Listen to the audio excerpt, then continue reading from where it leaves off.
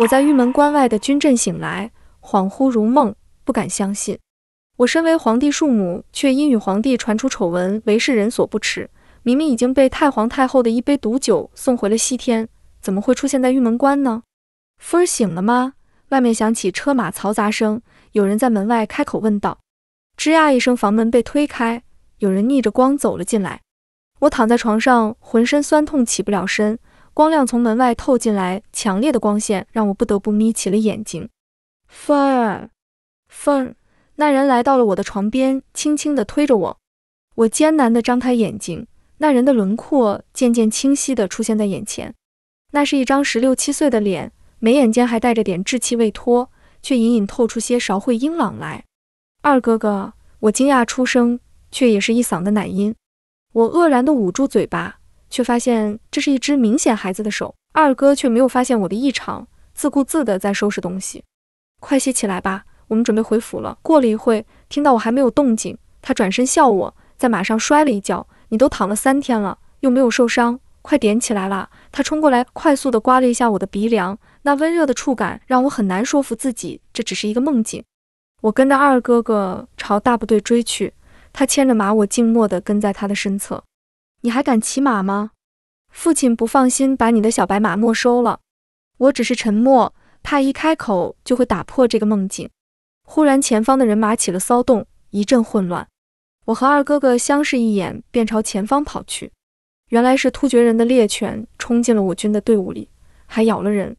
突厥人打猎竟然都打到我朝边镇来了，这恐怕不是在梦里。父亲和大哥在用突厥语和对方交涉。我们扣留了他们的猎犬，并要求他们立刻离开我朝边境。对方很是嚣张，要求我们归还猎犬。双方剑拔弩张，气氛十分紧张。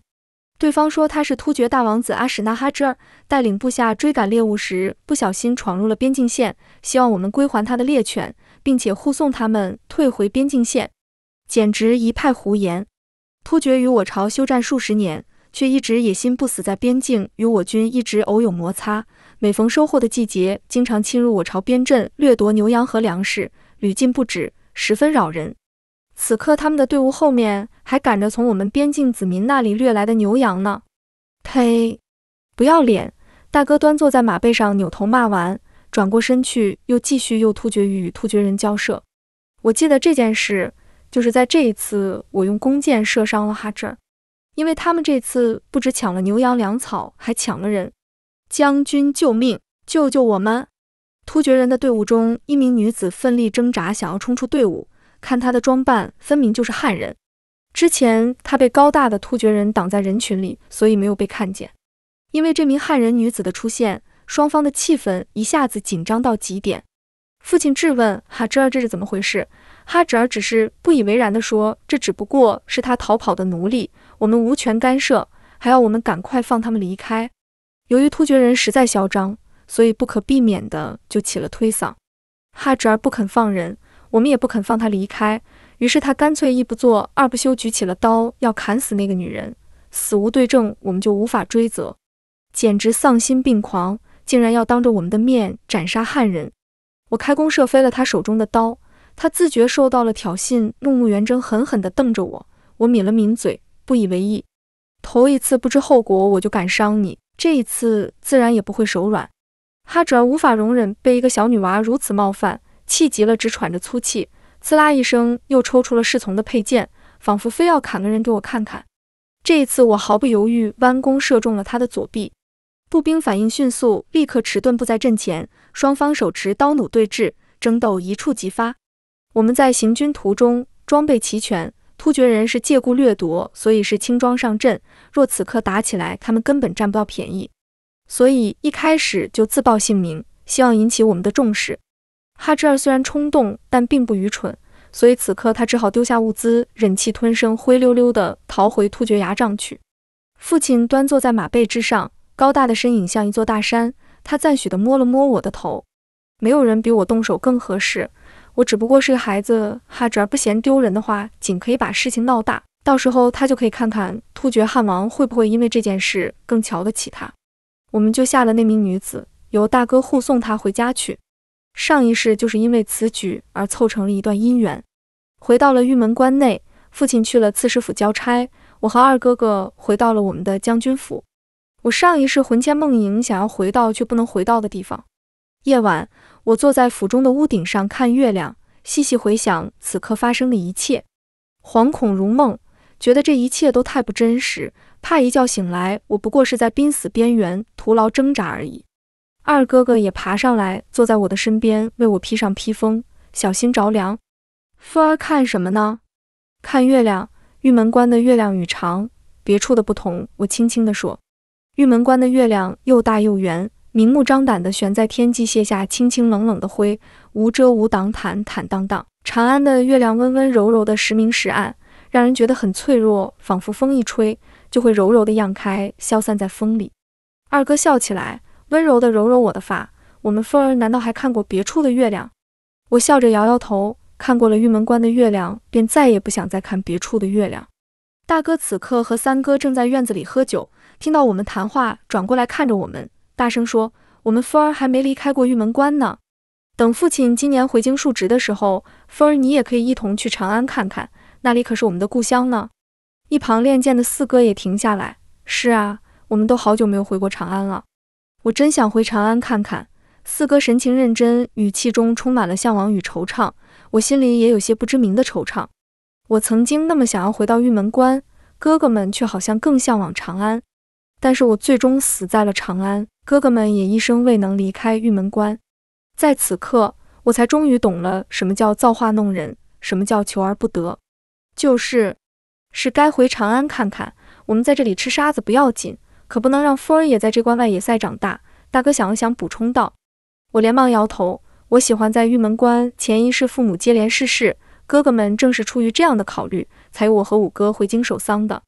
我才会在三年后的宫宴上被朝廷注意到，指婚给太子。我嫁进东宫做侧妃时只有十五岁，当时的太子与太子妃都已经是可以做我父母的年纪。太子妃是很和善的人，太子待我也很好，可他与太子妃伉俪情深，再也容不下别人。但他们又很善良。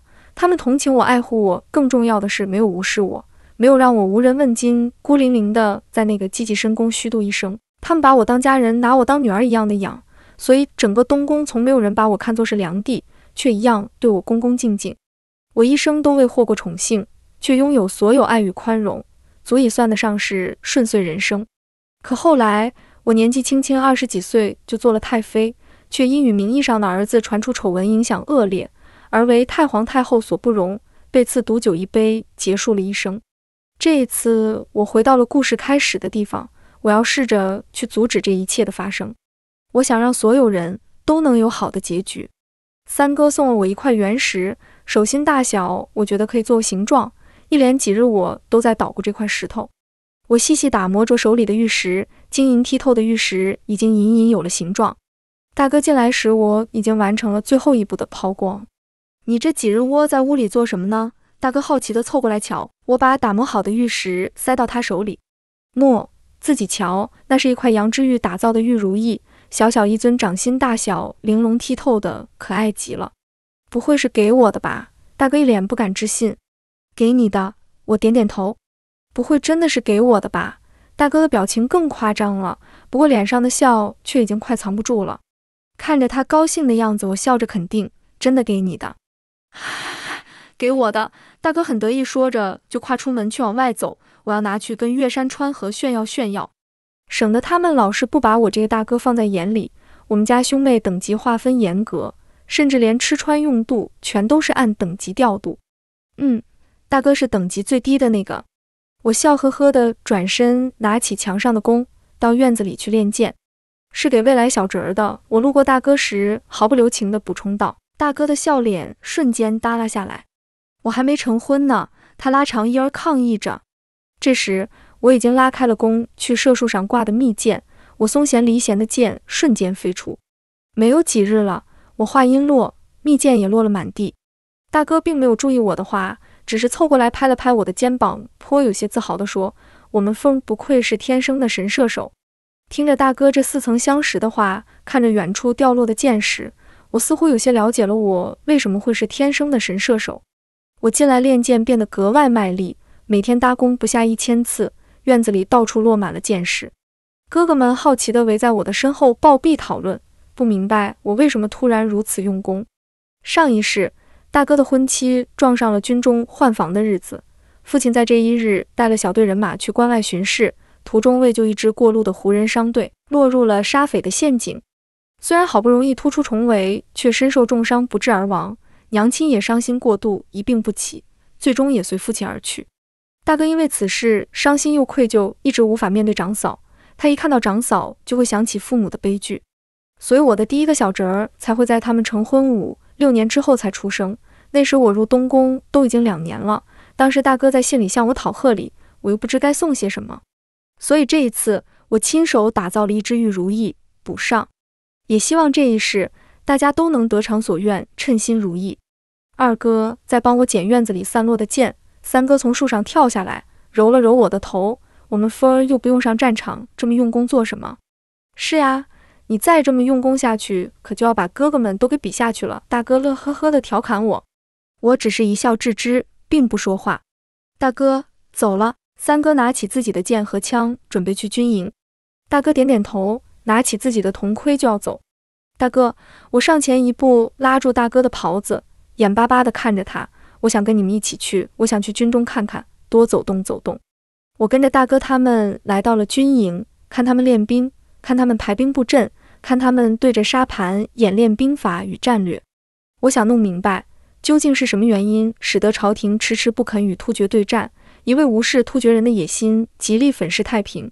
放任突厥在西域不断做大，成为威胁我朝边境的最大隐患，致使上一世两军到了最后不得不开战之时，面对有备而来的突厥大军，我朝才会节节败退，甚至提出要割让燕云九州。回府的时候，我跟在大哥后面，迎面走过一队新兵，末尾的那个人一瘸一拐的步伐引起了我的注意。我转过头去，只看到他的侧脸，我觉得他有些面熟，却一时想不起究竟是在哪里见过。大哥见我有些疑惑，于是说：“每年都有扁平足的新兵，再多练几日就好了。”虽然我实在想不起在哪里见过，却还是回过头冲大哥点点头，表示了解。出了军营，发现营外站着个姑娘，背对着我们，似乎在等什么人。我开始并没有在意，只是大哥看到那女子的背影，却十分高兴，点着步子跑到那女子身后，拍拍她的肩膀。那女子茫然回头，看到来人是大哥后，笑得十分甜蜜。她递给大哥一双新靴子，大哥双手接过，不好意思地挠了挠头，听不清他们说了什么，只知道他们聊得很开心。他们在夕阳下畅快地交谈，时不时发出一阵悦耳的笑声。满天的霞光洒在他们的身上，温柔地为他们镀上了一层金光。落日将他们的身影拉得很长，他们的影子靠得很近，像一对恋人彼此依偎。就连我也不由得勾起了嘴角。我知道我们家很快就要多添一口人了。晚饭时，我与父亲、母亲说起这件事，一向严肃的父亲只是摸着下巴与母亲商量着何时去为大哥提亲。母亲笑出了眼角的皱纹，已经开始与父亲商量着要送什么样的聘礼。哥哥们闹在一处，也与打趣着大哥。大哥不太白净的脸，此刻已经红得有些发黑。欢声笑语随着夏夜微凉的清风。飘荡在府中，入眼的是一片祥和与温柔。入夜，我做了一个梦，梦里有人哭着求我不要死。他说是我替他受罚，教他骑马，陪他走夜路。他说是我陪他长大，等他回家，与他青梅竹马。他说我是他的月亮，是他的半条命。没有了我，他不知道该如何去走今后的夜路。我看到他身处高位，励精图治，却估计一生连个能说话的人都没有。最后积劳成疾。在一个山洞里草草结束了一生，我很难过，我哭着从梦中醒来，入眼就看到了墙上挂的弓，恍惚觉得自己仍在梦中。我掐了掐自己，疼得我倒吸冷气，才松了口气，这才完全清醒过来。我擦了擦额头的汗，还好是梦。梦醒之后再难入睡，眼前却突然划过白日那个一瘸一拐的新兵的侧脸，脑中白光一闪。忽然忆起那人，我究竟是在哪里见过？那人不正是当时伪造书信将我诓出东宫，企图与突厥小王子将我拐去突厥，以此离间我们谢家与朝廷的周然吗？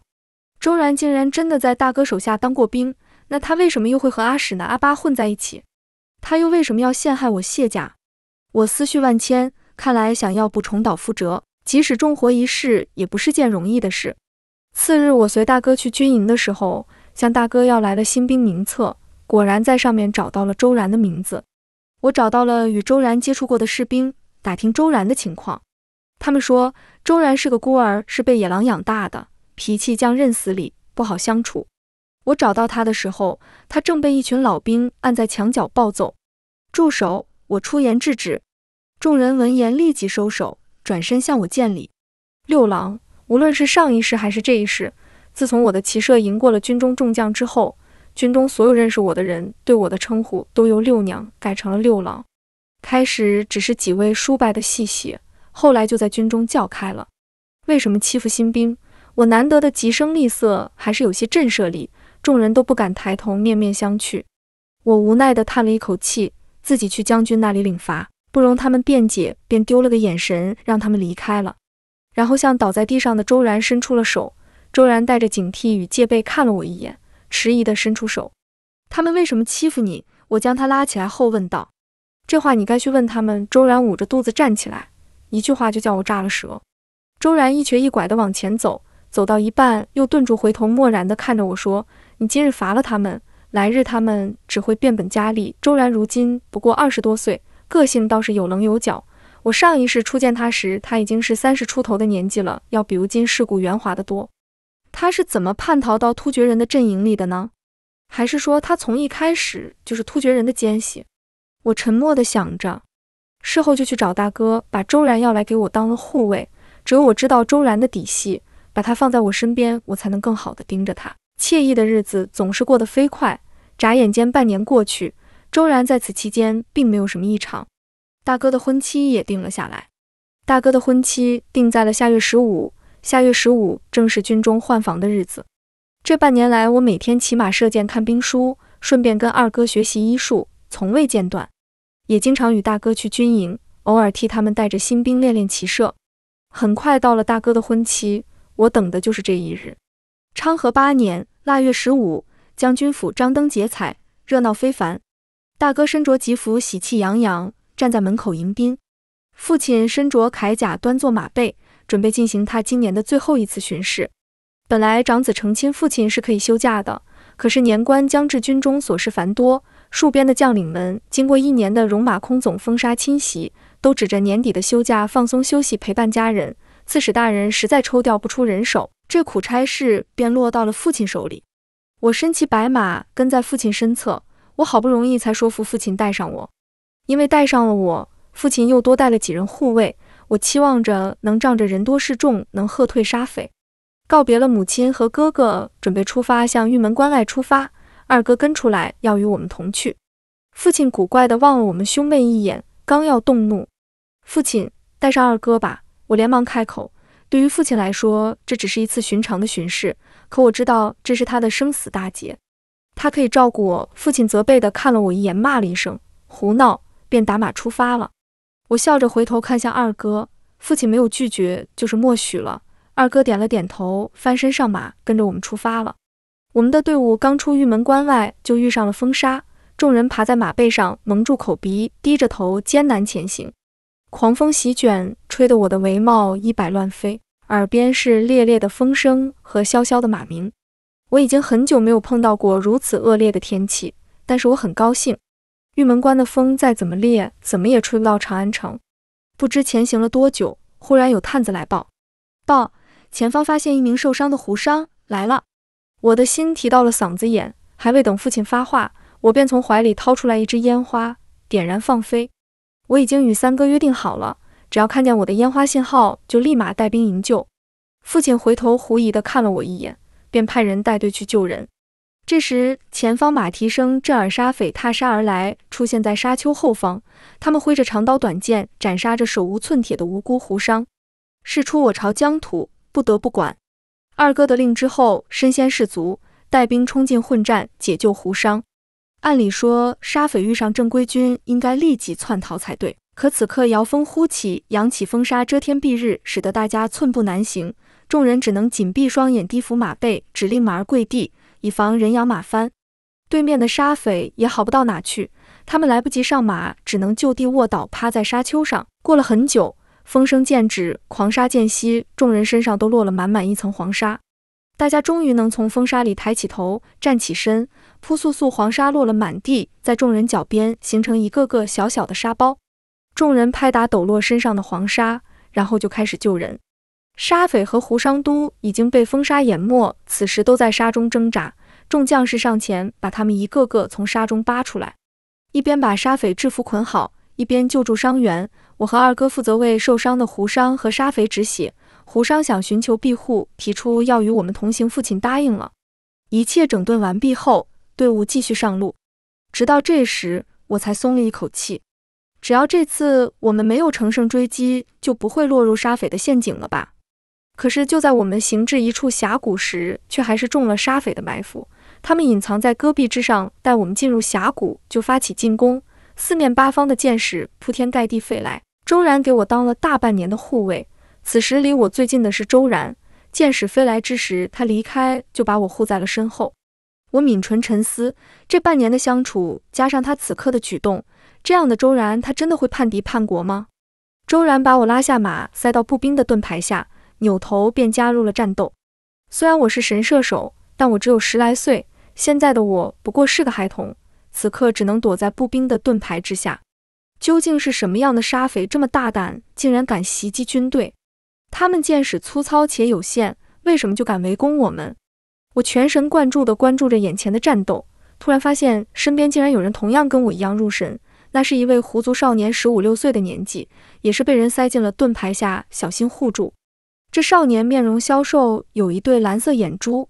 当他转头看向我的时候，我立刻认出了他。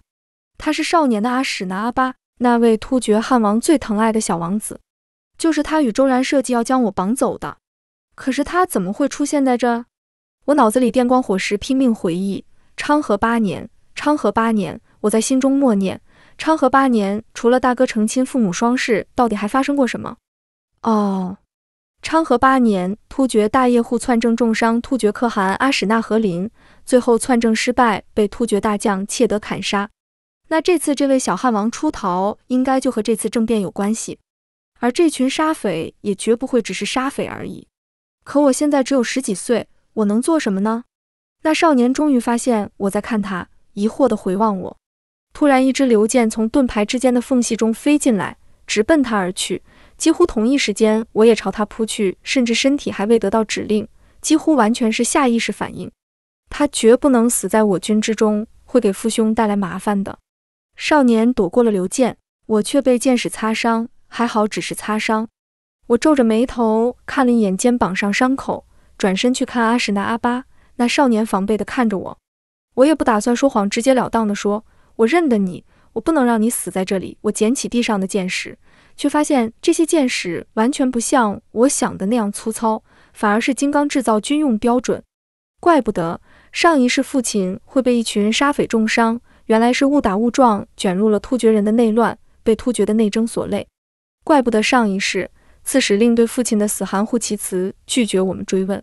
父亲是边境守将，常年驻守玉门关，外遇匈奴，内守边关，身份敏感，地位特殊。如果朝廷知道了父亲卷入了突厥人的党争，势必会影响朝廷对父亲的信任，也会给玉门关众将带来祸端。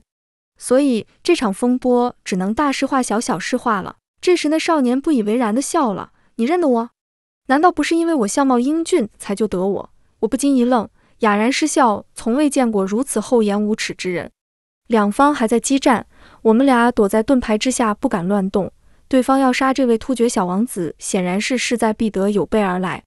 只是党争罢了。突厥大可汗有十三个儿子，为何非要追杀这个最小最弱的小王子？难不成他们也知道这位小王子才是汉王心中主义的继承者？我看向身边的这位小王子，不可否认，他就是未来突厥的大可汗。小女郎。我看你们将军寡不敌众，就要输了。我现在要溜了，你要不要一起？他笑得轻佻，语气却对连累我们这件事儿不以为然。我瞪了他一眼，救兵很快就到，三哥很快就会来。见我笃定，他也不再多劝。小女郎，救兵不会到的路太远了，你好自为之吧。说完，扭头就要走，我一把扯住他的袖子，不能叫他走，我要他欠谢家军一个人情。怎么，舍不得我走？阿史那回头看我，狡黠一笑，我回赠他一个白眼。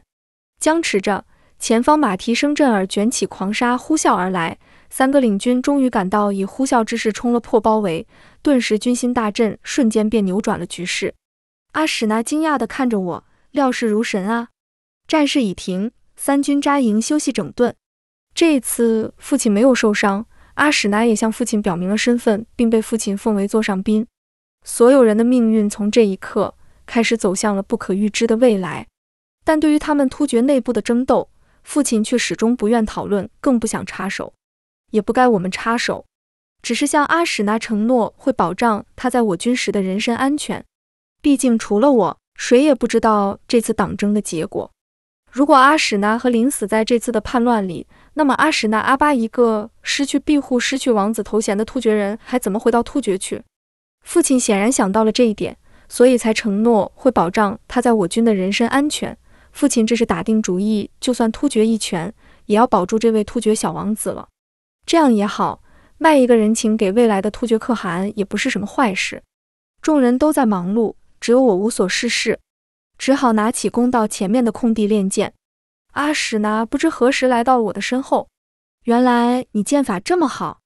我放下弓，看着远处为我捡剑的周然，思考着他和阿史那是如何结下的渊源，漫不经心地说。你汉话说的也不错，阿史那接过我手中的弓搭箭，不如我拐了你回突厥，要你做我的小女奴。箭飞了出去，射到周然脚边。周然怒视着阿史那，阿史那笑得愉悦，丝毫不带歉意地说：“抱歉，抱歉，本王子失手了。”阿史那把弓还给我，继续刚才的话：“你教我汉话，我教你骑射。”我莞尔一笑，看都不看，随意地拉开了弓，盯着他的眼睛，想看清他眼里的真实想法。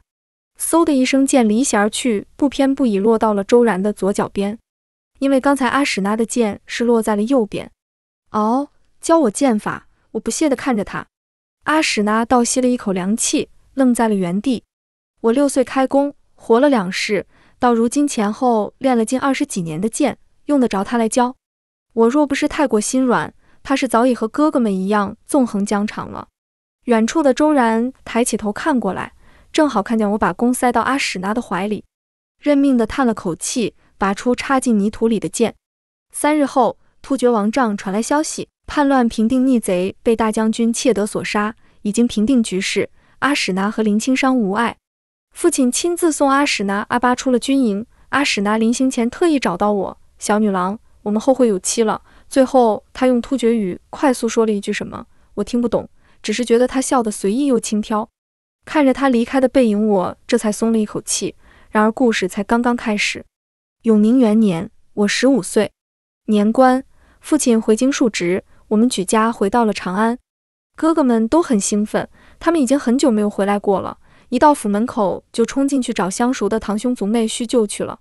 我和五哥的马车慢悠悠地跟在最后面，最后一个来到府门口。我下了马车，看着将军府高大的门楣，有些微微出神。小妹，怎么了？五哥关心地问。我笑着摇了摇头。这时，对面驶来一辆华贵的马车，一阵清风拂过，掀开了马车的窗帘，一张熟悉的侧脸映入眼帘。我呼吸一滞，心里惊呼：“太子妃娘娘！”因为娘娘是轻车简从，并没有开罗明道，所以现下我们的马车挡住了他们的去路，于是他们只好停下等待我们的马车离开。五哥认出了太子妃娘娘的车驾，于是上前赔罪。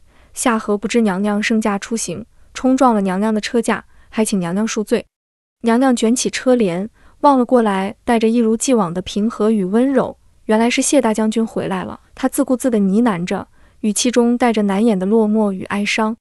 但他很快又扬起笑容：“无妨，小将军不必多礼，代我向你父亲问好。”与娘娘的马车擦肩而过的时候，我还在愣愣发呆。眼前的娘娘还是那么美，那么温柔。唯一不同的是，她看向我的眼神不再热切慈爱，而是淡淡的疏离与平静。我不再是她养在东宫的小女儿，他也不会再温柔地为我梳头。重活一次，竟让往昔的那些温情与美好都成了日光下的泡影，成了我一个人的独角戏。世事一场大梦，这一次再也没有人能与我同行。娘娘未嫁时也曾上阵杀敌，与父亲有过同僚的情谊。五哥细心地为我解释。我大为震惊，愣怔了好一会。这事竟从未听娘娘提起过。今天是什么日子？我过了半晌才开口问道：“今天是冬月初七。”冬月初七，我心下一片哀伤。冬月初七是娘娘父兄的忌日，娘娘这是去拜祭父兄去了。父兄忌日，又遇昔日战友回京，触景伤情，娘娘此刻该有多难过？小哥，你能不能去采一捧梅花给我？我想在这里等着，再见娘娘一面。我怀抱一大捧梅花，静静地站在府门口。等了小半个时辰，等到天空飘起了小雪，才看见娘娘的车驾从路尽头驶来。我屏住呼吸，紧张的等待，就连抱着梅花的手都在微微颤抖。看着娘娘的马车从我面前缓缓驶过，忍不住就要跟上去。忽然马车却停了下来。娘娘掀开帘子，柔声问我：“你就是谢家妖女吧？”我健步走到车窗下，忙不迭的点头，连脸上急切的神情都忘了收敛。这下雪的天。你站在府门口做什么？说着，递给我一个汤婆子。我接过汤婆子，眼泪忍不住在眼眶里打转，往事历历在目。可是娘娘却再也认不出我。我鼻子一酸，强忍住想哭的冲动，将怀里的花塞给娘娘。娘娘，花开了，一切都会好起来的。说完，我再也忍不住，匆匆行了个礼，便转身回了府。我怕我再多看她一眼，就要忍不住哭出声来。回到府中宫里，就传来了圣谕。宣父亲与我一同进宫，我心里忐忑，不知道陛下为何突然要见我。父亲只是摸着我的头，安慰地说：“风别怕，陛下只是想见见你。”父亲的手掌宽厚，语气坦然，让我分外心安。我随着父亲一同进了宫，父亲先被宣进殿去，应该是在谈论边关的边防与政务。半个多时辰后，陛下才宣我进去。我行完君臣大礼后，便俯首站在一旁，只听到陛下同父亲说。谢卿，这便是你那养在玉门关的春风吗？回陛下，正是臣的小女春风。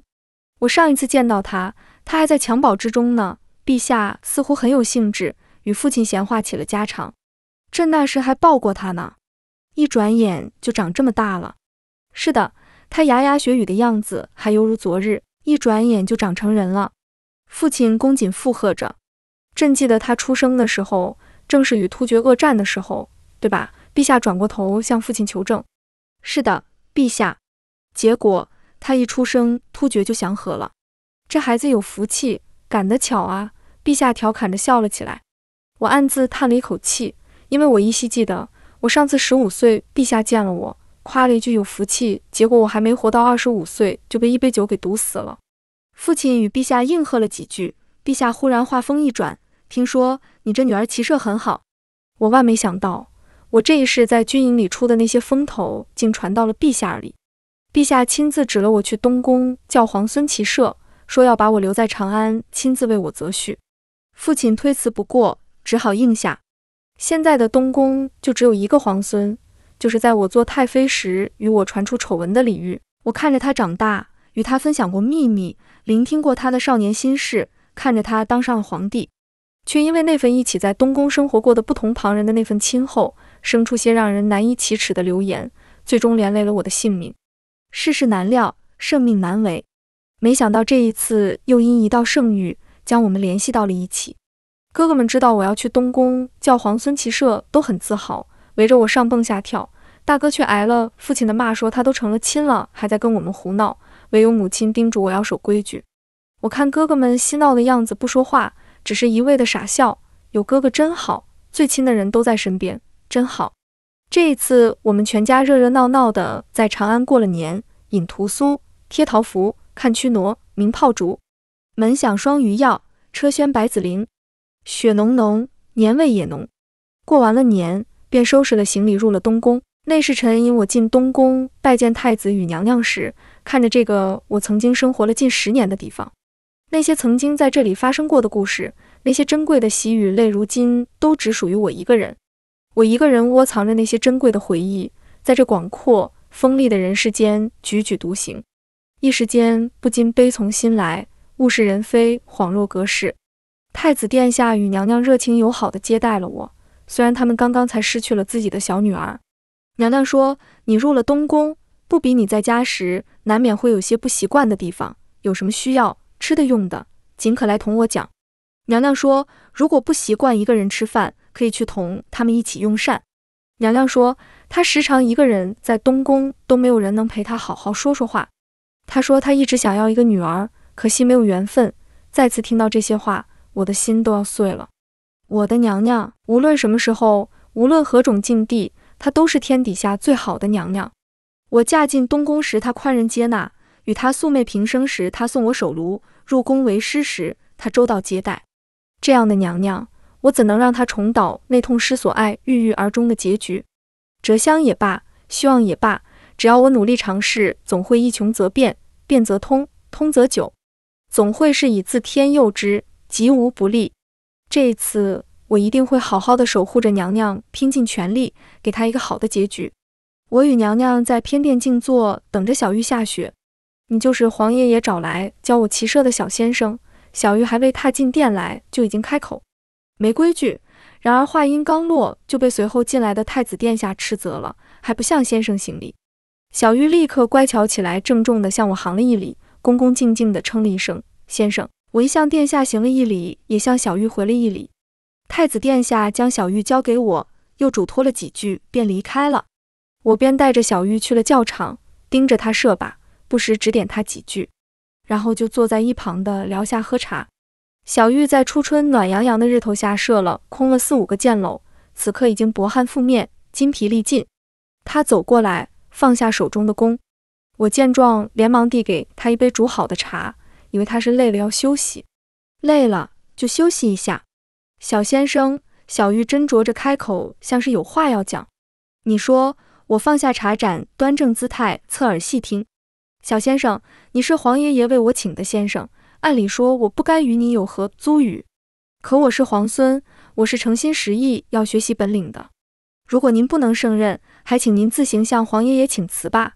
说完，向我恭谨地行了一礼。我微张着嘴巴，愕然了一会儿，原来他这是不服我。想到这，我不由得笑了。我拿起他刚放下的弓，站起来，抬眼看了眼天空。此刻已是天地四合，暮色迟迟，正值倦鸟归巢之际。我望着落日余晖下展翅的群鸟，淡淡开口道：“小玉，你见过玄鸟左翅的第三根羽毛吗？”啊！在他错愕愣神之际，我的箭已离弦一声极厉的雁鸣过后，群鸟四散奔逃。这时，天空悠悠飘落一只蓝黑色的的羽毛。小玉这时才瞬间明白了我刚才的话，不由得惊掉了下巴，登时对我肃然起敬。我看着他惊愕失色的样子，轻轻地笑着说：“现在可以休息了吗？”他此时已经不敢说话，只是忙不迭点头，接过我手中的弓，恭顺地扶我坐下。看着他乖滑的样子，我忍俊不禁，似乎可以理解了太子殿下为何一直对他如此严厉。半晌，我发现他在偷偷看我，欲言又止，说我端起茶盏，微抿一口。小玉面露迟疑，举着手里的羽毛，瑟瑟缩缩地向我确认：“先生，这根真是玄鸟左翅的第三根羽毛吗？”看着他畏怯又认真的样子。我这次再也忍不住，哈哈大笑起来，直到笑出了眼泪，才恢复正色，正襟危坐，认真道：“是我们小玉真的太可爱了。小玉天性活泼，我又是第一次教徒弟，性子软又很难严苛，很快他就与我熟络起来。他是真的喜欢骑射，被我的剑术折服之后，学的也就格外用心，整日围着我叽叽喳喳的。恍惚间，我似乎又回到了在东宫做侧妃的那些日子。”一时间竟有些分不清，那些究竟是梦还是真实发生过。与小玉其他的先生相比，我对小玉的要求并不严格，甚至可以说十分松散。由于太过松散，所以被太子约谈了。谢小先生，太子推过来一盏茶，客气开口：“我诚惶诚恐，殿下言重了，小风愧不敢当。我与你父亲年岁相当，那我就托个大叫你小峰吧。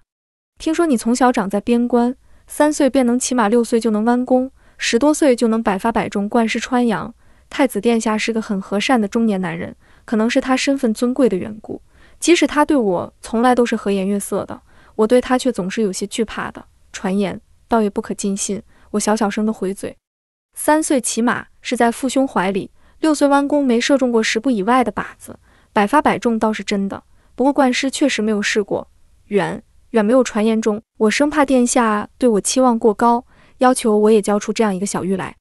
倒也不是我不想教，实在是小玉的资质差强人意，实在跟我比不了。况且小玉因为殿下的严格要求，常年都要挑灯夜读，这使他十六岁时就患上了眼疾，看什么都散乱，空中千片雪，朦胧雾上一重纱，这使他的剑术永远也不可能达到顶尖。什么？殿下一脸疑惑，不知道我在说什么。我连忙摆手摇头，表示洗耳恭听。殿下明显茫然地点了点头，虽然没有听清我在说什么，为表尊重，还是做出恍然大悟的样子。接着找回自己话头，继续说：“以你的实力来给小玉的骑射做启蒙，绰绰有余。只不过小玉这孩子生性顽劣，不肯用功，如不严加管教，放任自流，只怕会荒废功课，不成气候。随着太子殿下的话，我逐渐正色起来。太子殿下对任何人都宽则蔼然，唯独对自己的儿子苛责严肃。”以至于他们父子之间始终都有嫌隙，甚至那次让太子殿下血染沙场的出征前，父子还在置气。虽然小玉从没有说，但他的心里始终是想得到殿下的认可的。但太子殿下却好像从没有看到过小玉的努力，所以此刻我有些生气。太子殿下，小玉或许顽劣，但他绝不是不肯用功的孩子。他只不过十来岁，却每日卯起温书，亥时入眠。练剑时也是笔叶作皱，孜孜哭哭。纵使没有我的监督，他也未曾有过一丝懈怠。我明白您对他的期望过甚，但也该个因其才量力而为，而非一味严苛斥多，无视他的努力。小玉的骑射，还请您在春搜中见分晓吧。这是我第一次这样无礼的驳斥太子殿下。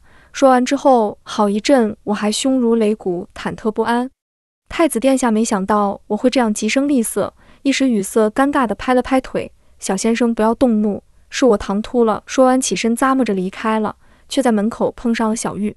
父子二人没有说完，小玉只是沉默地向他行了礼。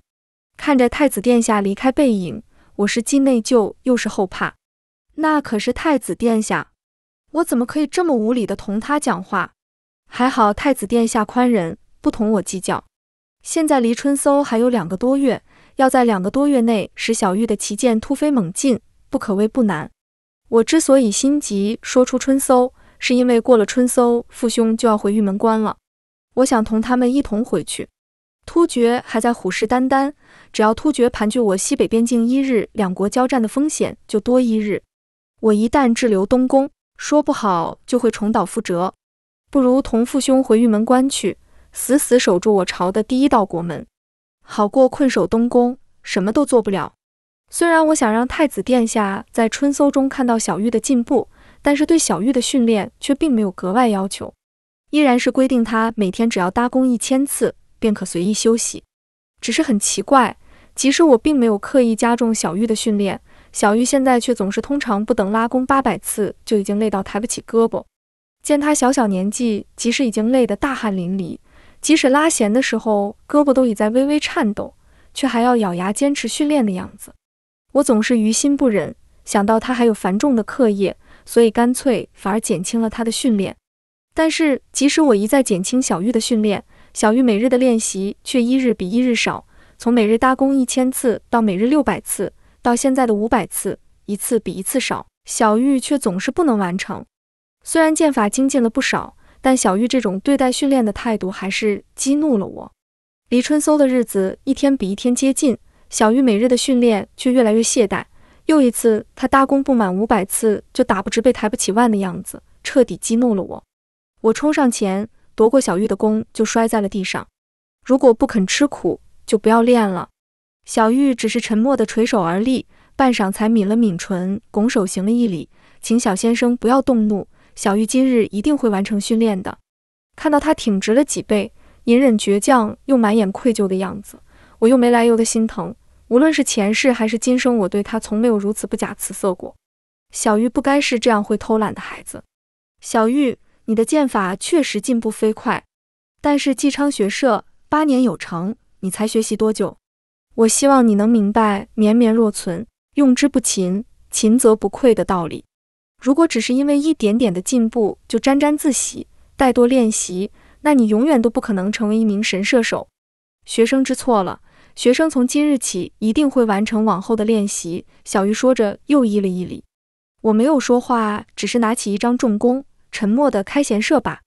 小玉也默默捡起自己的弓，开始练习。这一日，我们沉默着，各自射出了一千支白羽箭。入夜，我却睡不着，于是干脆起身走走。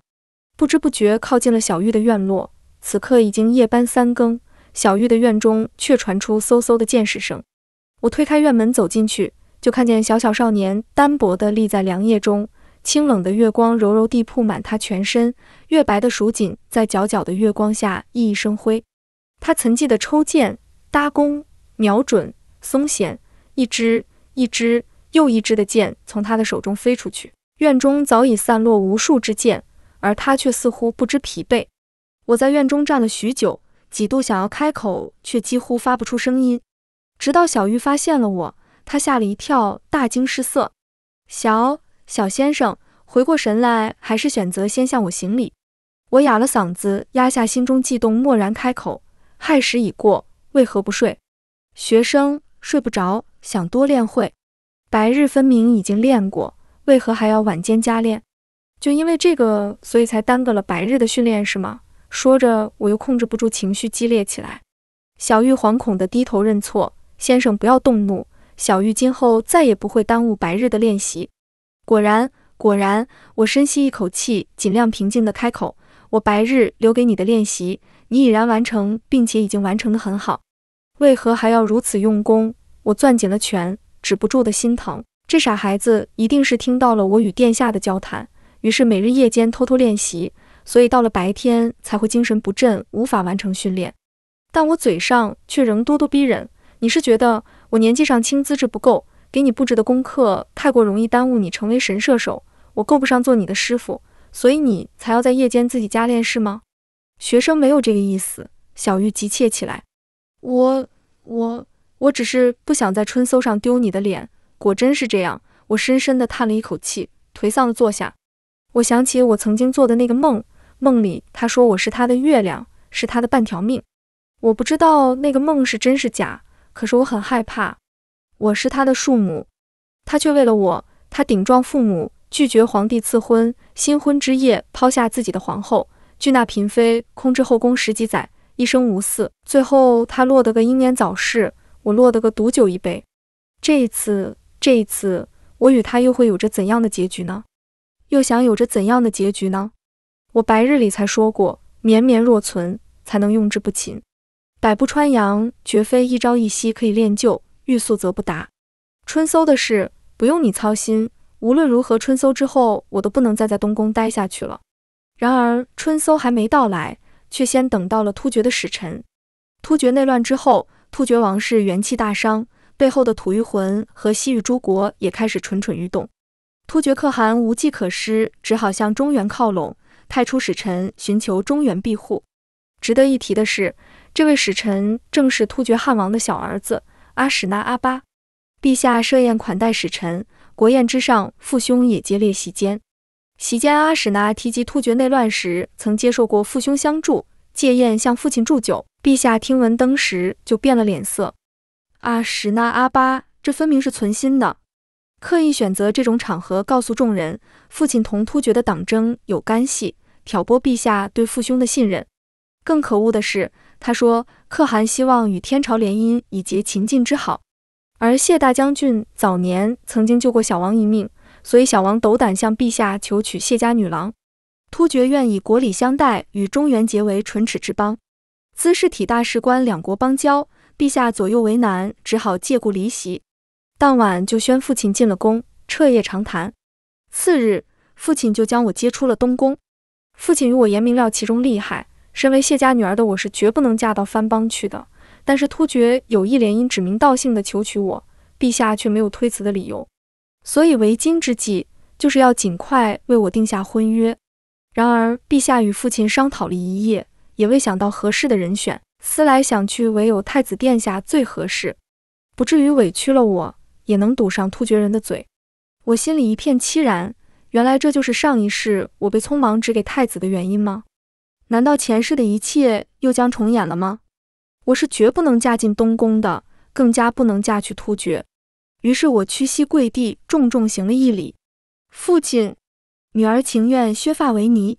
宵禁之后，我穿上宽大的斗篷，乘坐一辆不起眼的马车，手持玉札，从将军府侧门悄悄出发。马车一路向西，通行无阻上了御街，进了皇宫，独自面圣。临行前，父亲曾用宽厚的手掌抚过我的脑袋，这是严肃的父亲在表达他的慈爱。父亲说：“此计若成，则西北无患矣。只是这一去，山高水险。儿啊，千斤重担皆系你一身，望你心存社稷，不改其志。最后你要记住，你是谢家的人，谢家就没有苟且的人。”我拉住都冒迎着春夜清冷的晚风，走在宫内悠长的甬道中，脚下的青石在冰冷的月色之下散发着隐隐微微的光泽，似乎预示着我那晦暗的前程。而我的踏出的每一步却都更加坚定。我的脑海中不断回想起父亲的教诲：这世上有比自身生死更重要的东西，脚下的土地、律法的尊严、自身的职责、家族的荣誉、军人的忠诚、黎民的安康。国家的稳定，腰间的傲骨，我们有朝一日终会遇见需要用生命来捍卫的东西。我跪在陛下面前，一言不发，呈上我连夜写就的檄文。陛下接过檄文，逐字看完，沉默良久，久到大殿之内的空气都开始凝结。殿中很静，静到我能听到我胸内战鼓累累。可陛下长久的沉默使我的心一点点沉寂，我几乎已经忍不住开口。终于，殿内响起了陛下的一声叹息。我开始老了，老到没有雄心壮志，老到比一个小女娃却还不如。陛下扶着香炉，忧颤颤地说：“我以头抢地，诚惶诚恐。陛下正值壮年，在位数十年，正通人和百姓安居。可在您继位之时，却是内忧外患一片动荡，朝野上下风雨飘摇。是陛下大刀阔斧，挽狂澜于既倒，扶大厦之将倾，才有了这国泰民安的几十年。”陛下功德千秋，史书会记得。只是如今壮士暮年，士气渐沉。陛下只是叹息着：“小丫头，你可知你要走的是怎样一步棋？多少年，多少王侯将相上不能安定北境，覆灭突厥。你不过一小小女子，安有如此心智啊？若此计乃朝中王公将相所献，陛下觉得此计可行否？突厥狼子野心，与我朝势如水火。”君不见六州百姓受突厥夺掠流离失所之苦啊！我重重叩头，字字铿锵。陛下并不信任我，因为我人微言轻；可父亲却支持我，因为父亲坚信我们与突厥终有一战。这才让陛下有了动摇，不然我根本就没机会单独面圣。这次面圣也是父亲对我的考验。成事者有谋还不够，还要有勇有能。陛下迟疑着，小丫头。玉门关外已有你父兄，你只管嫁进东宫，镇定保你安稳一生，何必？陛下，我抖着胆子打断他。陈女生在边关，长在军中，得父兄教诲，目见边境百姓之疾苦，苦寒磨砺，胸有丘壑，又怎甘困于闺阁？此计若成，北境再无突厥滋扰；此若既败，玉门关外还有我父兄镇守。陛下深深叹了一口气，良久才道：“好。”既然如此，就让你去试试。陛下洪亮答道：“四是终于下定决心，只是我且问你，此去若有闪失，若有闪失，便以身殉国。肝脑涂地，彼时的我一腔热血，饮冰难凉。想好了。”陛下半真半假地问我，重重点头，掷地有声，百死不渝。等我出宫时，东方的天已经微微亮了，一轮红日倏然跳出天幕，霎时间天地洒满霞光。我没有回将军府，而是转道去了东宫拜见娘娘。我送给娘娘一个锦盒，盒子里装的是我在玉门关时用整整一盒东珠从西域铸造大师那里换来的一支玄铁枪头。然后去和小玉告别，这次没有办法陪她去春搜了。不过我送给她一本医书，最后又告诉她一件事，那是大哥曾告诉过我的道理：你可以和那群狐狸生活在一起。但永远不要忘记自己是一头泥。然后我头也不回地离开了那里。从此刻起，今生我与东宫再无瓜葛。但是我会在他们看不到的角落里，用生命捍卫他们的人生，即使无人知晓，即使一夜不休，为娘娘，为东宫，也为了苍生。陛下搁置了阿史那联姻的提议，邀请阿史那与部下参加我朝春搜。联姻之事可以等到春搜过后再讨论。春搜的日子很快来到。我目送父兄披挂上马前去围场，父亲沉重地拍了拍我的肩膀：“风儿长大了，今后的路要自己走了。”我看着父兄的背影，深深知晓，此一别要想再见，却不知要等到何年。永宁二年春搜，右骁卫将军谢忠在狩猎途中摔下马背，引发旧疾，三日后不治身亡。在父亲的葬礼上，我听到父亲昔日同僚皆在叹息：谢将军一死，今后北京要仰仗何人啊？阿史那阿巴也前来吊唁，他是亲眼看着父亲坠马的，对父亲的伤势最为清楚，不疑有他。他吊唁结束后，来到我面前，只说了一句：“节哀，珍重。”我安静地向他还礼。看见他不曾多疑，才松口气。父亲大殓之后，哥哥们奉旨启程，继续守护玉门关。我则被陛下赐去灵觉寺修行，替父祈福。因在丧妻阿史那阿巴的求亲，也只能搁浅。陛下签下了两国友好合约，并赐金银绸缎无数，牛羊上千，粮食数万石，打发阿史那阿巴回突厥去了。突厥是一群训练有素的狼，他们蛰伏在我朝西北平日里不声不响。可一旦他们感到饥饿，就会伺机而动，冲向我们的羊群，咬断他们的喉咙，啃食他们的内脏。现下的示好，只不过是他们有了更强大的敌人，权衡之下的选择罢了。等他们一旦有了机会，势必还是会反扑回来。而这一次，绝不能再给他们喘息的机会。所以，虽然我人在灵觉寺清修，但一直都在密切关注西北军事，直到三个月后。边关传来密信，说谢家军意图不轨，密谋造反。陛下发出密令，急召大哥回京。大哥不从，便被谢之廷任圈禁在了府中，只等陛下派人将他押解进京。虽然这罪名子虚乌有，但谋反之名非同小可，必须查明。朝廷焦头烂额，一时间朝中动荡，军中惶恐，西北军防也被这突如其来的变故冲出了一个缺口。数十日后。又听说大哥在押解进京的途中打伤了官兵，逃窜了。陛下震怒，将其他几位哥哥全部打入了天牢，并查封了京内的将军府。将军府的叔伯们全都被打入牢中，听候发落。而我在灵觉寺似乎被朝廷遗忘了，所以才能幸免。但现在也开始坐立不安。现在时机已经成熟，就看阿史那阿巴会不会像上一世时有所动作了。这日入夜。我正在床上休息，突然有人翻窗而入，我警惕坐起。什么人？我暗中摸向床边挂着的弓和箭。六郎别怕，是我。周然说着，点燃了屋内的灯。我定睛一看，果然是周然，佯装惊讶道：“周然，你怎么来了？将军被人诬告谋反，六郎可听说了？”我点点头，不动声色道：“大哥不会，清者自清，朝廷自会查明。这一次不一样。”将军这次是被人陷害的，对方是有备而来，证据确凿，不然将军也不会在押解进京的途中逃走了。现在将军不在军中，二郎他们又被打入牢中，现在只有您能救将军了。我该怎么办？我开始慌张起来。周然抱拳施了一礼，请您跟我回玉门关调查真相，还将军清白。可六郎，现在陷害将军的人现在还在军中。军中除了您以外，已经没有将军可信之人了。末将正是奉了将军之命前来请您的。我不经意间瞥见了窗外的影影绰绰，才放心地对周然说：“好。”然后收拾行李，跟周然趁夜离开了长安。出了长安城之后，不出所料，果然有一支胡人商队在接应我们。周然说：“跟着胡人的商队能够掩人耳目。”我看着这些前世曾经出现过的面孔。心里五味杂陈。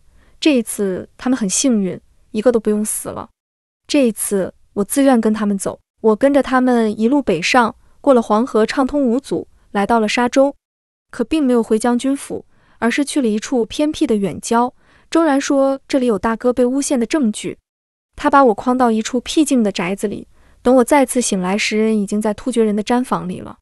见我醒了，一旁的突厥女郎连忙倒了一杯马奶。示意我喝，我抓起杯子就往地上砸去。周然呢？让他来见我。那女郎听不懂汉话，只是惶恐地摇头，然后退了出去。不一会，有人掀开帐篷走了进来。来人高鼻阔口，一副胡人长相，却比一般胡人多了几分清秀。我定睛一看，正是阿史那阿巴。怎么刚醒就发这么大的脾气？阿史那笑意盈盈地说：“周然呢？我要见周然。”义兄怎么会在我突厥帐中呢？一句话就道破了他与周然的不同寻常。义兄，我有些狐疑，为何从未听周然提起过？怎么我义兄没有告诉过你，他是在突厥人的帐篷里长大的吗？怪不得，怪不得上一世周然会帮他设计我。快放我离开，我要回玉门关。我站起来厉声说道：“是你们招待不周吗？怎么女郎刚来就要走？”阿史那冲一旁的使女说道。使女惶恐地摇头摆手。阿史那含笑晃脑，大喇喇地坐下，自顾自斟满一杯马奶喝了起来。我疾步走到阿史那面前，拔下头顶的发簪，抵住他的喉头。废话少说，快送我回玉门关！阿史那面无惧色，不以为意地把玩着手里的杯子。我父汉有十三个儿子，死了我一个倒没什么的，只不过你若死在我突厥帐中，可就苦了你几位哥哥喽。什么意思？你难道不知？你们的皇帝陛下怀疑你几位哥哥要谋反吗？阿史那满不在乎地拨开我的发簪，自顾自续了一杯。这是我们谢家与朝廷的事，还轮不到你们突厥人来插手。可是如果我告诉你，你们谢家是真的要谋反呢？说罢，举杯要饮，我一把拍飞他手中的杯。你胡说！阿史那浑不在意地笑了笑。如果我说我是得了你大哥的请求才将你绑到突厥的呢？你胡说！我谢家就算要造反，也不会与你突厥勾结。谢家世代忠肝义胆，而今上仁德，天下晏然，无缘无故怎会造反？还与外邦勾结？勾结一帮，那就不是造反了，那叫叛国。你父亲已死，你的兄长们又不得皇帝信任，被人用了一点雕虫小技，就背上不轨的罪名下了大狱。现在谢家军群龙无首，军权旁落，你说会有什么下场？听了阿史那一番话，我不由得心惊胆战，这才明白，原来玉门关是真的有人要造反，怪不得父亲当时会那么轻易同意我的计划，原来是想借此引出幕后异动之人。父亲是想是螳螂捕蝉，黄雀在后，这是我朝内政与你无关，你绑我来到底有什么目的？目的？我不是很早之前就已经说了吗？阿史那笑意不减地看着我，绑你来做我的小女奴啊？我带着目的来到突厥帐中，可不是为了和阿史那打口头官司的。之后我试过几次逃跑，当然不是真的为了逃跑，而是为了确定突厥王帐的大致方位。有一次，我从牧民那里抢了马，足足跑了三天才被他们追上。就是那一次，我彻底才确定了突厥王帐的大致位置。我用石头朝突厥王帐的方向摆出了一个不起眼的标记，然后匆匆将他们往另一个方向引去。但是这一次追上我的不是阿史那阿巴的人，而是他的哥哥阿史那哈哲。哈芝尔出门打猎，正好碰到了出逃的我。我与哈芝尔有些过节，所以即使时隔多年，他还是一眼认出了我。哈芝尔和他弟弟阿史那阿巴不同，他长得十分魁梧粗犷，放声大笑的时候简直叫人震耳欲聋。他把我抓到他的帐篷里，准备砍掉我的双手，让我去做喂马的奴隶。虽然我不懂砍掉双手，我还怎么喂马？但显然，此刻最重要的是拖延住时间，保住我的双手，等到阿史那阿巴来救我。可现在的问题是我不会说突厥话，我听得懂，但是不会说，而且也绝不能让他们知道我听得懂。我被捆着双手，哈哲的武士就来抓我，我只好借着灵巧身手四下闪躲。我将哈哲的帐篷搞得一团糟，还趁乱挟持了他一名美姬。虽然双手被缚，但在他们绑我时，我留了个心眼。按照大哥教我的方法，双手攥拳，暗中向外吃力，为双手留下了活动的空隙。所以双手即使被绑，也不妨碍我拿着刚刚他们用来切羊肉的刀子，抵着那胡姬羊羔一样娇嫩的脖子。眼看我就要划开那美姬漂亮的脖子，哈芝尔果然慌张失措起来，甚至被逼出了几句不大流利的汉话：“别别，刀子下来下来！”我莞尔一笑，早就听说哈芝尔生性风流又吝啬。有三十几名美妾，妾通买卖，他的每一名姬妾都可换上上百只牛羊，他当然舍不得他们死。我割断了手上的绳子，解放了双手，但手中的小刀却从没有离开那胡姬的脖颈。我一只手拿刀抵住他的脖子，一只手示意他们不要轻举妄动。那胡姬比我高了一个头，挡在我面前，刚好可以为我躲过他们的暗算。哈，这抓到我本就是误打误撞，他可不想为了我损失上百头牛羊。僵持之下，只好去派人去请阿史那阿巴。阿史那阿巴用三百头牛羊和两名姬妾从哈哲尔那里赎回了我。离开时，我冲哈哲尔轻蔑一笑，彻底激怒了他。阿史那阿巴在马背上朝我伸手，我看着哈芝儿愤怒又不甘的神情，又朝他扬起一抹得意的笑容，十足的挑衅，然后借力登鞍上了马。阿史那阿巴拉住我的胳膊，放在他的腰间，然后策马跑开。我再一次回头，哈芝儿果然暴怒，夺过随从的弓箭，就朝我的后心射过来。我拉过阿史那阿巴手中的缰绳，躲开那一箭的同时，丢出手中的小刀。锋利的小刀从我手中飞出，擦过那胡姬的脸颊，插在了哈芝儿的胸口。但我心里知道，这距离太远，不足以致命。我也没想要他的命。阿史那阿巴和哈芝儿本就关系恶劣。经过这一次后，更是水火不容。因为哈芝儿的那一剑，事后他不仅没有得到阿史那阿巴许诺的牛羊、姬妾，还因我无意中伤了那胡姬的脸。原本能换百只牛羊的女人，现在最多只能换到三五只了，更别说他自己还因此受了伤。阿史那阿巴本就是他汉位最大竞争者，又是突厥汉王最出色的小儿子，深得汉王喜爱。十六岁那年，在突厥大叶护之乱中，独自一人逃出重围，搬回救兵。汉王才因此在叛乱中得救，所以年少气盛，自视不凡。阿史那哈之儿早就不满阿史那阿巴的嚣张气焰了，偏偏又每次在他身上跌了跟头，怎么不能？怎能不怒？所以即使这次哈之儿没有误打误撞抓到我，我也会早晚有一天挑衅到他头上的。这一次因缘际会，倒是省了我不少借口。阿史那阿巴为了防止我在逃跑，要我整日寸步不离地跟着他。若是我不肯，他就绑了我的双手，牵着绳子让我跟着他。为了少吃苦头，多探听消息，我便不再挣扎，老老实实跟在他身后。这日，阿史那阿巴心情格外的好，带着我在草原上漫步。现在正值初夏，是草原上最美的季节。灿烂的阳光铺洒在绿色的牧场上，远处开着大片大片不知名的野花，蓝色的、红色的，争奇斗艳，在风中尽情摇曳。羊群在前方的坡地上悠闲地吃草，牧羊的姑娘用一支短笛吹奏着一首轻快的牧歌。如果不是突厥总是侵犯我朝的话，就这样生活在这片草原上也未尝不可。我帮你取个名字吧。阿史那突然开口，心驰神往地说：“我自己有名字。”我低声抗议：“就叫阿依木怎么样？”阿史那看似在征求我的意见，实则已经决定要这样叫我。那我也给你取个汉名吧。我沉吟了一会。就叫王清晨怎么样？王清晨，阿史那阿巴轻声喃喃着，这名字不错，是什么意思呢？意思就是王，天下所归王也。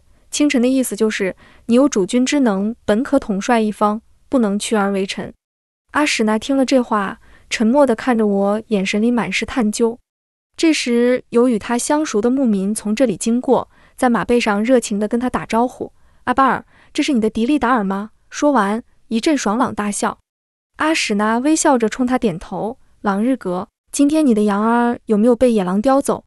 那人大笑着骑马远去了。阿史那才开口：“如果有一日我做了汉王，你愿意做我的可贺敦吗？”看着阿史那认真的神情，我不由一愣，然后断然拒绝：“谢家女儿不嫁一帮。”阿史那了然地点点头：“你们中原人就是死板迂腐，真是好没意思。”就是不如我们草原儿女活得痛快。我们慢悠悠地并肩走在浅浅的草地上，风中传来阵阵温暖花香。我就着暖暖和风开口：“你究竟什么时候才肯放我回家呢？”趁着此刻他放松警惕，我得好好套一下他的口风。别急嘛，阿依木，等我突厥的铁蹄踏进玉门关内，你自然就可以回家了。阿史那抬眼看着头顶瓦蓝瓦蓝的天空，语气中不知是向往还是惆怅。别傻了，王清晨，玉门关固若金汤。我闭上眼睛，感受草原的风从我耳边轻轻拂过，不由得勾起了微笑，仿佛胜利在望。什么？我的声音很小声，阿史那没有听清。没什么，我轻轻地摇了摇头。很快，阿史那开始忙碌起来，突厥王帐中也突然开始人来人往，所到之处，人人行色空总。他怕我察觉到什么。于是他给了我一百只羊，叫我去放牧，借此支开我，并且承诺在羊儿生下了羊崽的时候就放我回家。为了不叫他起疑，我只好答应。然后我就只好拿起了长鞭，就跟着牧民去放羊。草原上的牧民热情善良，语言不通也能感受到他们的友善。他们身体力行地教会了我如何放牧，煮醇香的奶茶给我喝。只不过我放羊喜欢跑到很远很远，朝南的那片高高的坡地上去放，在那里似乎可以遥遥地看见玉门关的城楼尖儿。每当这时，牧民们就会笑我，用突厥语好心提醒我，那里已经没有草了，羊儿要把草皮都啃光了。但我只是善意的回以微笑，装作听不懂的样子。只是我放了半个月的羊，才搞清楚，阿史那阿巴给我的一百只羊全部是公羊，让我等公羊产崽。他分明就没想放我回家。我纵身上马，快马加鞭地冲回他的营帐，气愤地把马鞭扔在他的案桌上。阿史那抬眼看到是我，转怒为笑：“是谁招惹了你？怎么发这么大脾气？”他放下手中的文书，饶有兴致地看着我。我貌似无意地看了一眼那文书。你骗我！阿史那一愣，我气哼哼地转过脸去。你给我的都是公羊。阿史那闻言哈哈大笑。好啦，别生气，吃个苹果。说着站起来拿个苹果塞给我。我知道你吃惯了精细食物，吃不惯草原的酒肉，特地从关内请了一位庖厨负责你的饮食。关内来的。看来我前一阵子闹的绝食果然起了作用。对呀，会做汤饼。我继续追问，约莫会吧。阿史那不明所以地说。我若有所思地点点头，强忍住笑意，想着阿史那一定会后悔今日的所作所为。回去的路上，一位会说汉话的使女奉承地说：“王子待女郎真好。”我不以为意，他费尽周折把我绑来，可不是为了折磨我的。那胡姬抓着自己两条乌黑亮丽的大辫子，眼里流转着艳羡的目光，一脸天真的说：“现在可不一样，马上就要打仗了。可是王子还记挂着女郎的饮食，可见王子是真的把女郎放在心上。打仗，突厥要和谁打仗？突厥线下的军资人马都不足以与中原开战，阿史那和林氏绝不可能在这个时候向中原挑战的。是铁勒部那女郎如实告知。我了然的点点头。”大漠七零八落，现在正值夏季，草原上牛壮马肥，各部之间为了苜蓿生长，储蓄过冬物资，开始争夺草场和奴隶，各部之间争端不休。想要在这个时候离间他们，简直易如反掌。看来大哥他们已经开始行动。上一世阿史那和林花了三年时间才统一草原各部，随后便向中原发起了战争。这一次绝不能给突厥人喘息的机会。入夜，我端着一碗汤饼做掩护，偷偷进了阿史那的帐篷，想找到突厥的军需不图。这已经不是我第一次偷偷潜入阿史那的帐篷，但是阿史那戒心很强，我找了几次都没找到什么太有用的线索。案台、箱子我都已经翻找一遍，没有发现什么机密的信息。最后，我在阿史那的坐垫下发现一张羊皮卷，还没来得及展开，外面就传来了脚步声。阿史那走进来，看见我老老实实的坐在一旁的软垫上，眼底有不加掩饰的惊讶。你怎么在这？请你吃汤饼。我扬了扬下巴，示意他看向案桌上的汤饼。阿史那走上前去坐了下来，看着眼前的汤饼笑了起来，用筷子夹起一根青菜，意味深长地看着我说：“青菜是草原上的稀罕物，你却不爱吃。若你是生在突厥，恐怕要吃苦头。”瞬间。我脑袋里像是有什么东西炸开了。这句话是上一世阿史那与周然设计将我绑出东宫，我为了拖延时间，在黄河边上吃汤饼，却不吃菜梗。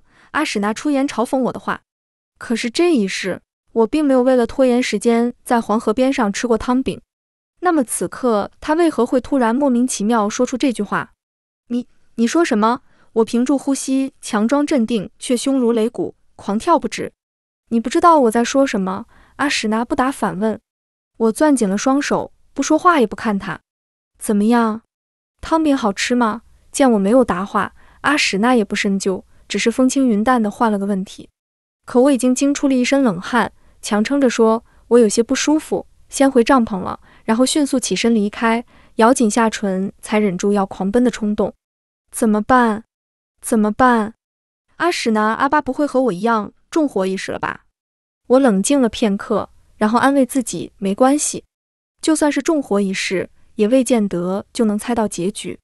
突厥和铁勒部的争斗持续到了冬天，草原上一旦下起了雪，这些靠着草原供养的人马和牛羊生存起来就更加艰难。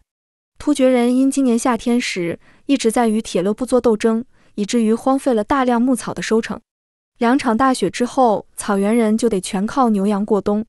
由于牧草短缺，牧民们不得不大量宰杀牛羊。牛羊是游牧韩国的心脏，大量宰杀牛羊无异于要他们的命。每到这个时候，他们就会开始掠夺。富饶的中原向来是他们最好的选择。对于他们来说，中原是一位富有而羸弱的邻居。他们贪图中原富饶的土地与资源。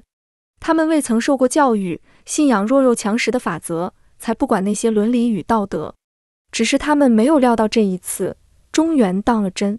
几次滋扰过后，中原与他们彻底撕破了脸，临兵列阵，与他们展开了对战。阿史那忙着打仗，没空管我，仍指使我去放羊，只不过只许北上，不得南下，怕我趁机逃跑。起初，他们并没把这次开战当回事儿，料定中原兵颓将弱。就消极待战，谁知这一仗拉拉扯扯、断断续续，一打就是好几年。突厥一退再退，三年多来，我朝已收复漠北大半。这一仗打了好几年，突厥军中早已失老兵疲，斗志萎靡。现下便是一举收复漠北的大好时机。这些年，我安心放羊，又远离突厥王帐，种种表现麻痹了阿史那，他渐渐对我放下了戒备，不再找人监视着我。却不知多年来。我一直通过当年阿史那阿巴从关内请来的那位庖丁向中原传递消息。这次大哥带来军令，要我去说服铁勒部三天后与我们合围突厥。于是趁着夜色，我溜出营帐，骑上一匹快马，手持毛节奔向了铁勒人的帐篷，并且在离开之前放了一把火，烧了他们的粮草和军需。说服铁勒部并不是一件容易的事情，何况他们从来就不信任中原人。于是我告诉了他们。这四年多来，我是如何蛰伏在突厥人的帐篷里，如何挑唆阿史那阿巴与阿史那哈支尔，使他们的关系进一步恶化，又如何利用羊群一次又一次与中原互通消息？我是如何精心布局，一步一步将突厥引到线下这般田地？我身为汉人，被困在突厥人的营帐，所能做的实在不多，但走的每一步都是可以将突厥推向深渊的险棋。突厥已经到了穷途末路。铁勒部只需向中原天朝递一把刀，表示一下诚意，就可以变成天朝的好朋友、好邻居。但是如果铁勒部不肯与我们合作，我们也不会介意把铁勒变成下一个突厥。铁勒十三部的首领商议了一整夜，在东方拂晓之时，终于决定愿意与中原合作，合围突厥。口说无凭，我建议他们将十三部的联名战书交于我，由我带给中原可汗。这样一来，可以表示他们的诚意。二来也好做个凭证，以防他们临阵倒戈。只不过后面这句话我没说。铁勒部在做战前准备，召集兵马，准备向突厥王帐合围。我向他们借了一名小卒乘快马，去向大哥报信，告诉他铁勒人已经答应要与我们合围突厥。而我则又翻身上马，转回了突厥营帐。我远远地下了马，卸下了马鞍与龙头，爱怜地拍了拍马背：“好马儿，逃命去吧！”马儿不安地低吟两声。朝着远方扬蹄而去了。看着绝尘而去的马儿，我沉下心来，抱着必死的心情，一步一步朝突厥王帐走去。突厥营内人仰马翻，众人手忙脚乱，在救火救伤员。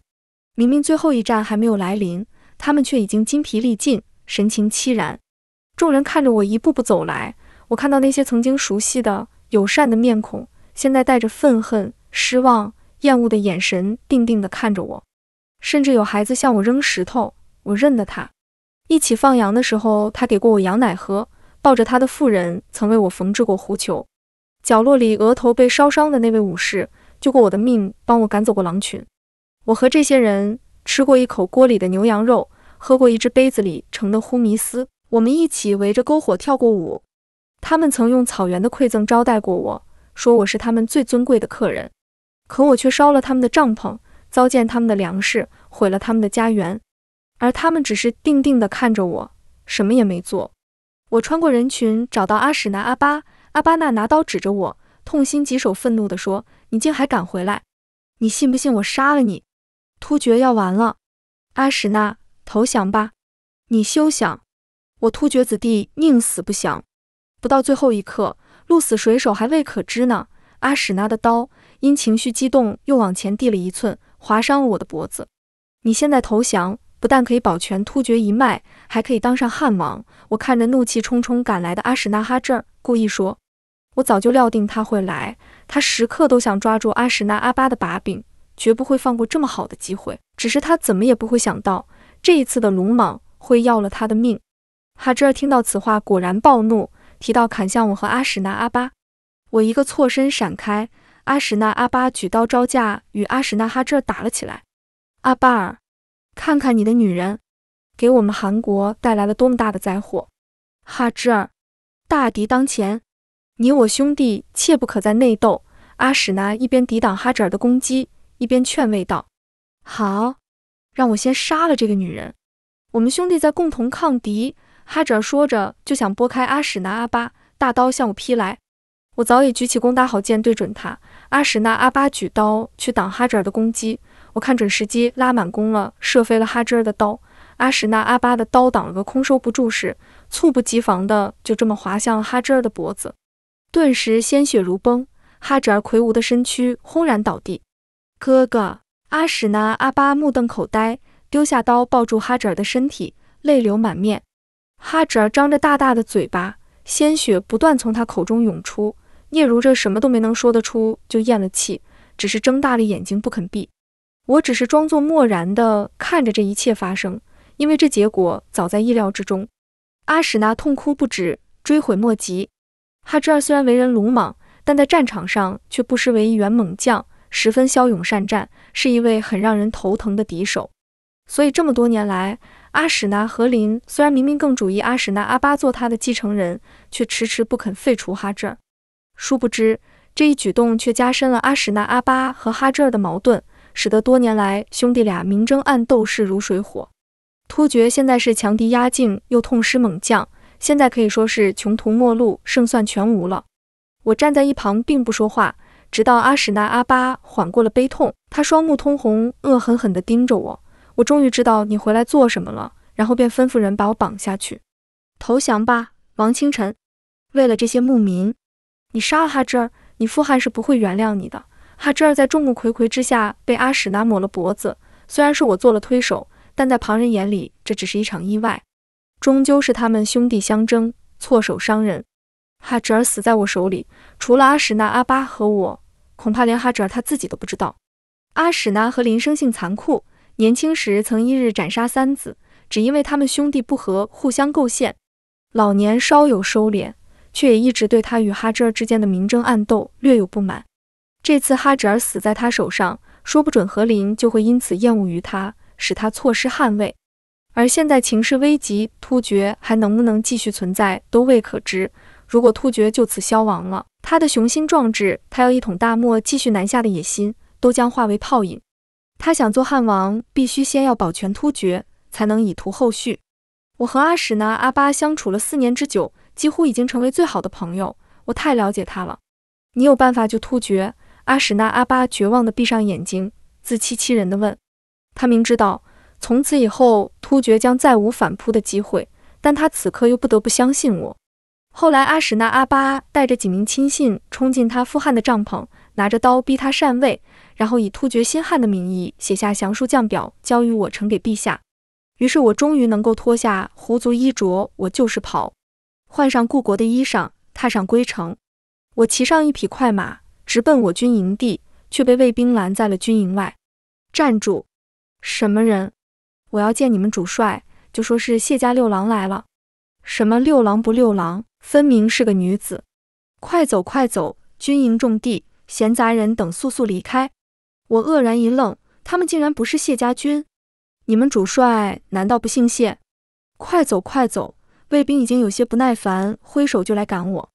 正在我与卫兵纠缠之际，远处传来一声惊喜的小先生，我抬头对上了一双好看的眸，是一位白袍银甲的小将军，英姿勃勃，仪表堂堂。他朝我灿烂一笑，便足下生风地朝我走来。走近了，我才瞧出他眉眼中有娘娘与殿下的影子，原来是小玉。阔别近十年，我竟几乎认不出小玉如今的样子。小玉疾步走到我面前，卫兵向他行礼，他却朝我作揖。恭恭敬敬地称了一声“小先生”，我几乎要掉下泪来。眼前的这个人，他曾是我最疼爱的人，是我的弟弟，我的儿子，是全天下与我最亲近的人。他的母亲，他的父亲，他的弟弟，他所有的一切，都是我最重要的牵绊。而我只能听他惊喜而生疏地唤我一声“小先生”，而我却只是为了这个，便一个人守着所有故事，在那极寒极北的地方放了四年的墓。我垂下眸，敛起所有情绪，收起所有好奇，快带我去见。我忽然想起，我并不知如今军中是何人主帅。小玉却好像知道我要说的，拉着我就朝军营走去。他牵着我的手，好像我们又回到了在东宫的那个时候。那时我还年轻，耳边是温和的风。小玉带我直接面见了陛下。原来半月前，陛下悄悄来了边境，为了见证我们与突厥的最后一战。所以当我献上铁勒十三部的战书和突厥的降表时，陛下比想象中的还要开心，当即下旨为谢家平反，封父亲为忠勇后，大哥为义军后。谢家忍辱负重近五载。终于换得了一门两后，荣耀无双。至此，谢氏一族在军中再也不用隐姓埋名。后来，陛下又在突厥故地先后设立多个都护府，加强境北管制。自此，海晏河清，天下太平。而我则留在边关，随二哥四处行医，一生在位踏足京城。后来，太子殿下当上了皇帝，在位八年后驾崩，小玉做了皇帝，娘娘变成了太后。小玉也娶了妻，生了子。再后来，就连娘娘也去了，我便再也不关注京中的那些事。那座皇城终究是困了他们一世又一世。我也终于明白，有些事终非人力可以更变。